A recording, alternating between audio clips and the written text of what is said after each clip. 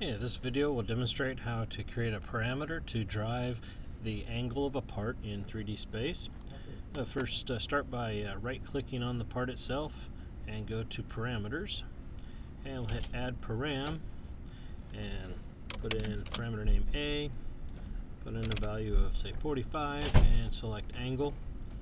Hit OK and OK again. And we want to go right-click and go to Part Properties go to the anchor tab and for orientation of the anchor and rotating around the height axis so put one in for height and for an angle turn on show formulas and type in A so that it'll read the A parameter for that value.